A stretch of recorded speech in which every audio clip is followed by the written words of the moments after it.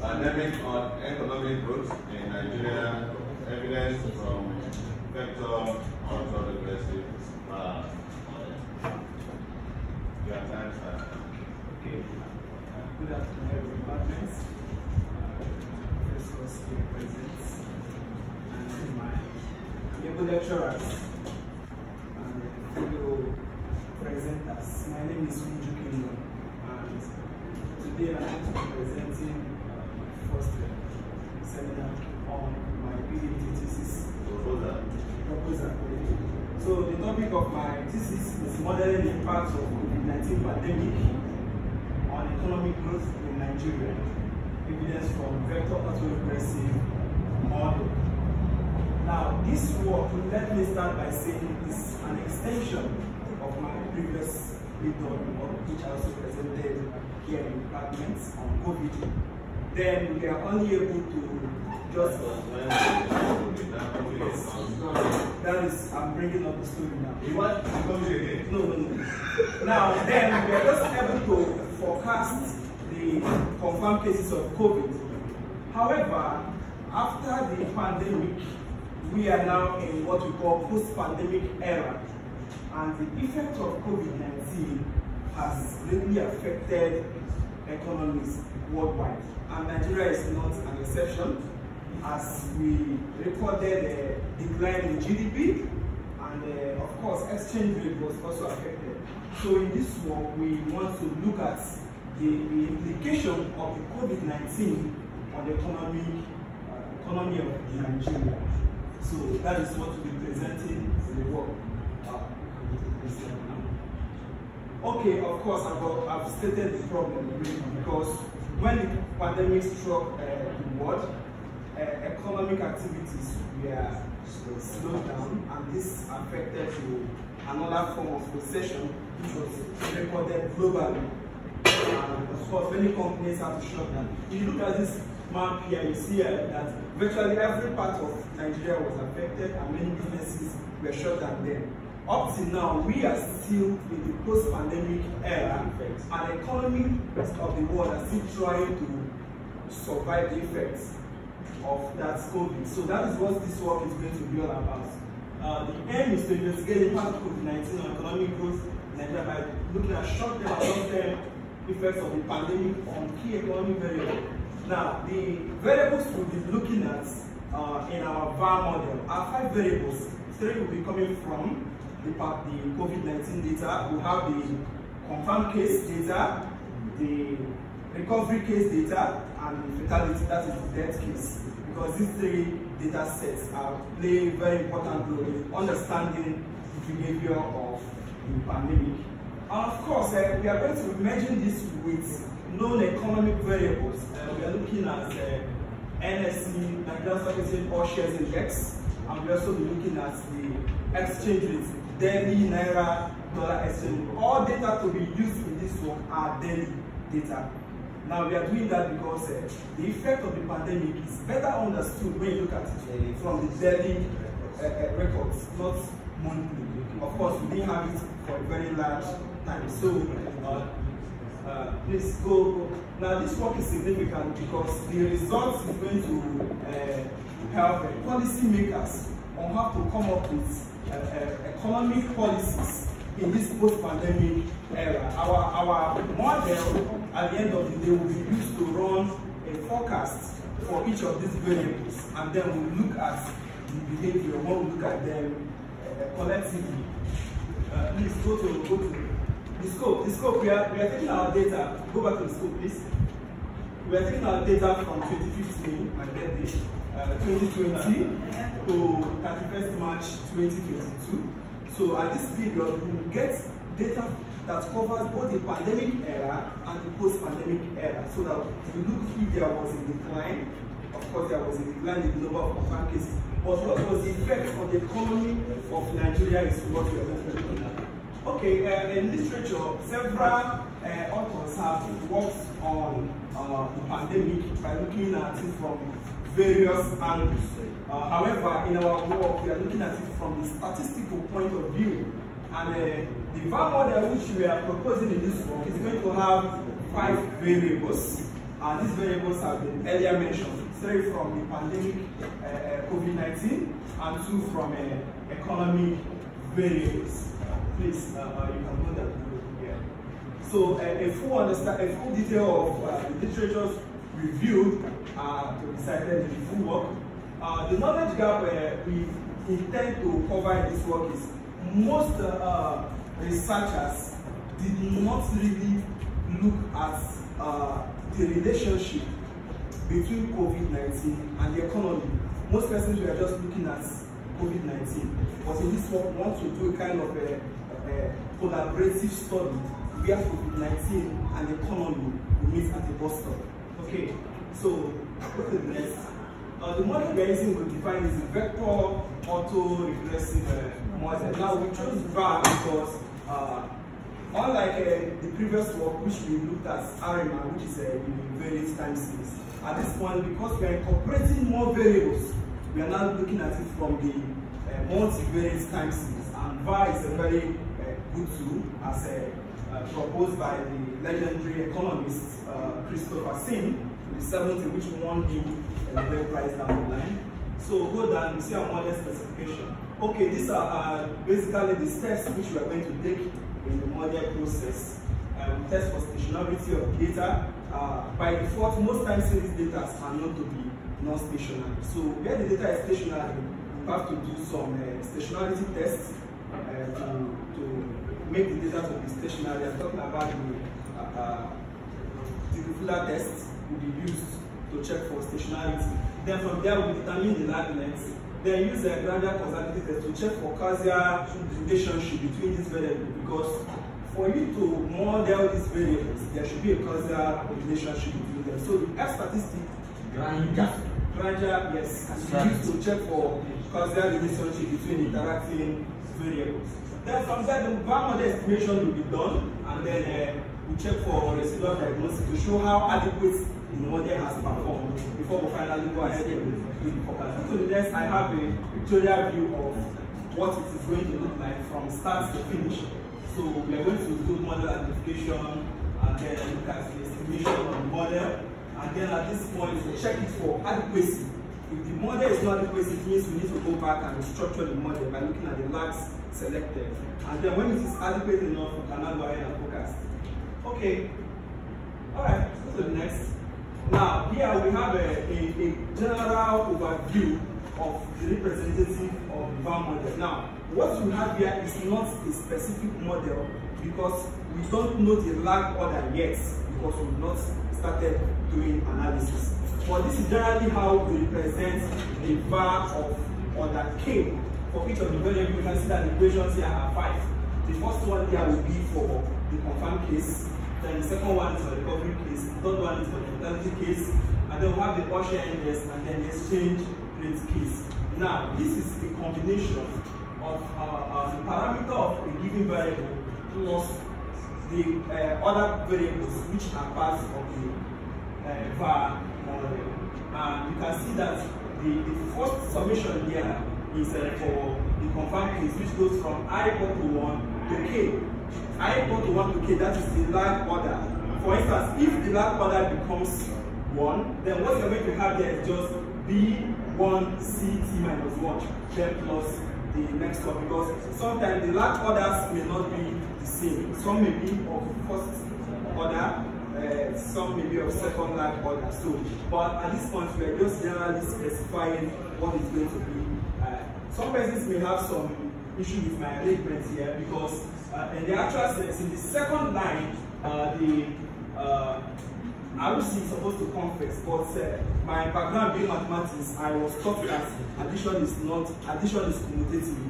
So the order of arrangement of sums does not matter. I have to make sure uh, they are all aligned in order so that we can clearly look at the behavior of each particular variable side by side. Okay, uh, You have one minute. Okay, uh, the data for the study has been carefully uh, collected. The COVID data was gotten uh, from Johns Hopkins University Teaching Hospital as uh, NCDC was unable to give us accurate data. They were just giving us pictures, but no numerical data. So we got that from John Hopkins University. However, the uh, economic data was gotten from Central Bank of Nigeria, representing daily exchange rates of naira, dollar, and then the NSE All Shares Index. Uh, uh, statistical software, if you, if you, two of if you get another as one item, will be used to run all forms of numerical analysis. When we meet my next presentation, by then I should have some result to present. Thank you.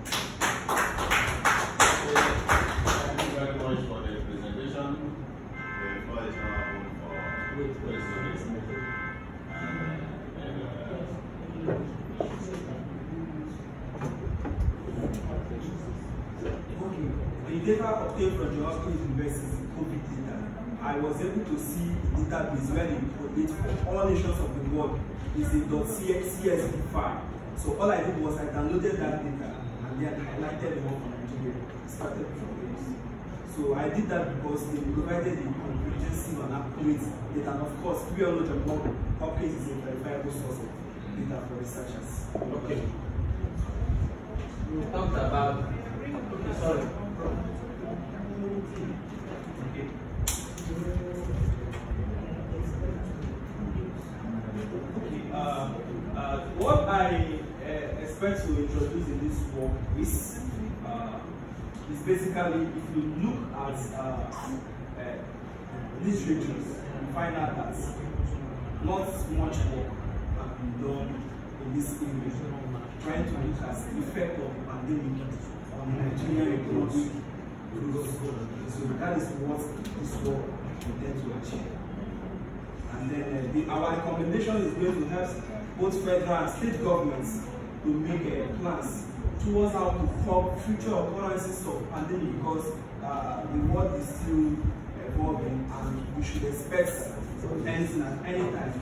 You agree with me that during the last pandemic we are not adequately prepared for it, probably because there was not sufficient uh, research with respect to pandemic. When Ebola came, we didn't really handle the research very well. That was why we were not prepared for pandemic. Uh, I still remember when uh, COVID came, we had to go back to search for our own Please, hand please, sanitizer. just uh, okay. and wait for further questions. This one is anonymous.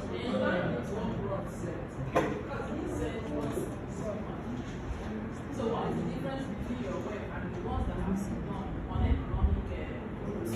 The one- During the pandemic. Okay, I was unable to see any work that anybody have done by looking at COVID-19 and economic growth in Nigeria.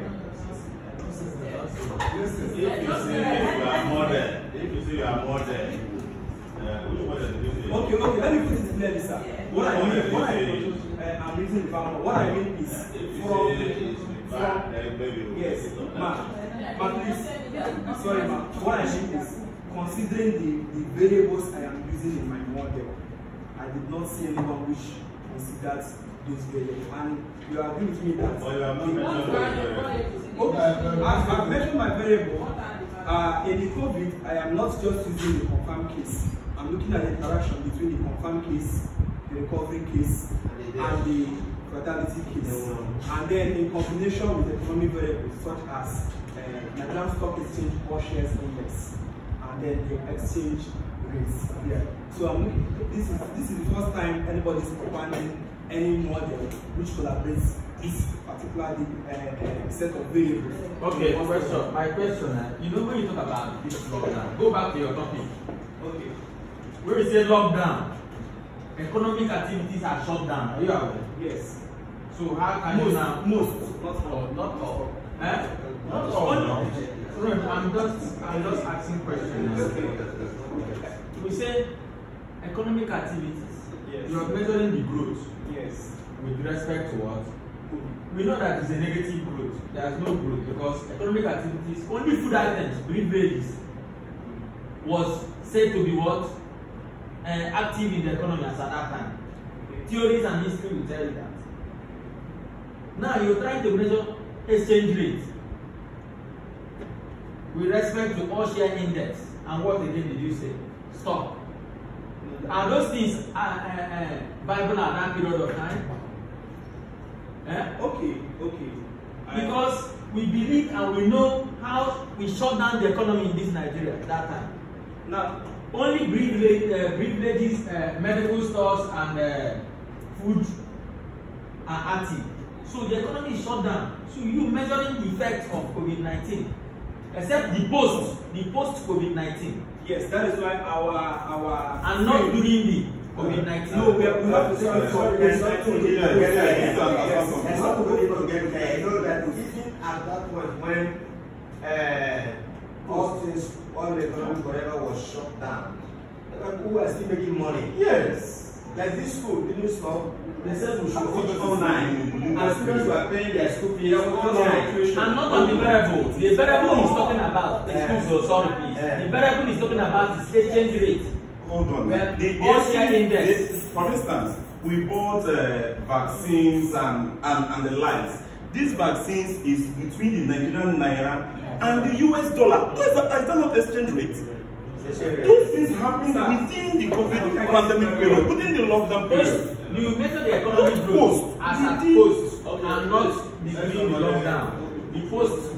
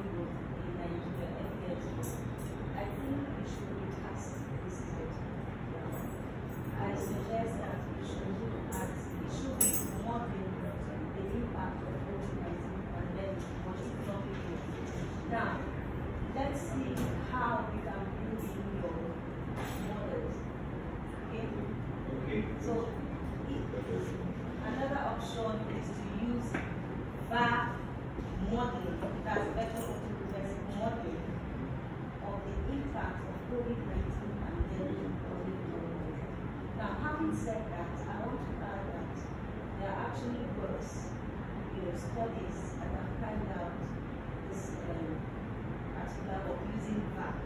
I did research, yes, I didn't see anyone that worked with ARPA, that's autoregressive distributed library. So I would like to suggest that we use both models, that is VAR, because that's where the contribution to all the research or concept of the public So if you com- if you analyze your data with VAR and ARPA, at the end of the day, your results will show which best describes your data.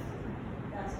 Then, when you look at your variables, eh, your variables, uh, you talked about your COVID variables, and you listed them as confirmed cases, fatality cases, and recovered cases. And I remember, I think that the recovered cases and the fatality cases are subsets of the confirmed cases. So if you use the data of the yes, the data for confirmed cases, um, recovered cases, and fatality cases, you'll be duplicating, um, you'll be duplicating the numbers because they are part of the confirmed cases. Note that you said that the data is obtained based from the source. So, and these other confirmed, they are all part of that's the fatality and other, they are all part of if it makes sense you. Yes, so that, and then, um, you're talking about impact on the economy. I, I think we should also include inflation. Now, this, my reason is this. If you remember during that pandemic where we had, um, um, food crisis, food security crisis with associated high food prices.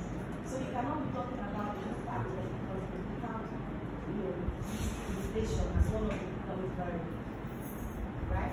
And then I think you should also add GDP. Because if now you're taking away the, um, you're taking away the fatality as one of the variables, and you're also taking away um, recovered cases as one of the variables, then we should have more economic variables. And for that, I'm adding, I suggest you add inflation and GDP. Okay, can I say something? Now, this uh, particular economic variables were carefully selected because of the nature of their frequency. There is no daily frequency for GDP and inflation anywhere. And it will not be, there will be no correlation if, if, uh, the, if some variables are monthly and others are daily. So I had to carefully select variables which will be of the same frequency order. GDP is product. Not.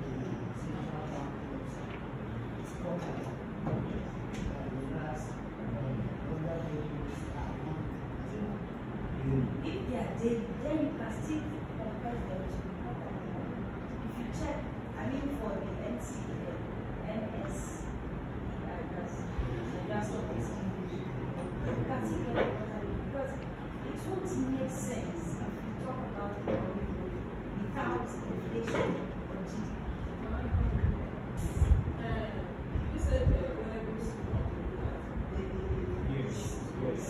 If you are taking from the first day to the last day of the month, then it will coordinate with other ones that appears on basis. So you can also correlate that and also make your. I think the problem you have is you don't have a set of assumptions. Yes. These are models, and because we see an existing model, we just uh, plug it in without actually making that assumptions which is what it should be. See, eh, if you look, if you look at the economic growth within those periods, not every economy was shut down, not every industry was shut down. It depends on what they're producing. Tell you, Indomie was working, but you have to go with the no start. And in the US, a lot of companies were working and they never shut down.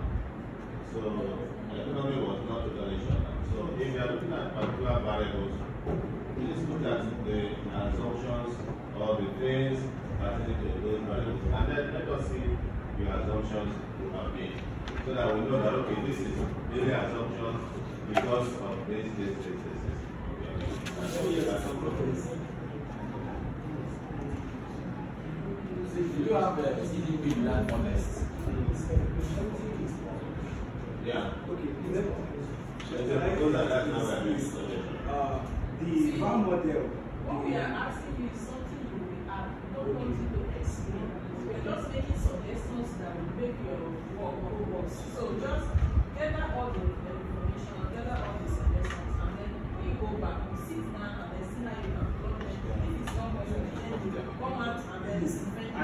this one. Now, the VAM model goes with uh, the assumption that flows from the ARMA model. And you will know that uh, uh, Boss and Check suggests that the data point should be 50 and above. I don't know if I am going to collect this data as quarterly, if I can be able to get up to the required That's what they make it right. See, It's see, a suggestion, then when you don't do it, And that's that's what I tell us. and, and again, eh, Yes. and again,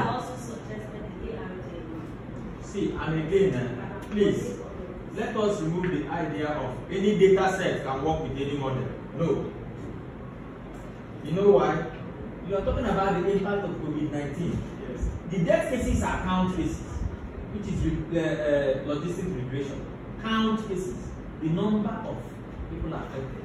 Yes. And you are measuring the economy on the people that are living, how the impact.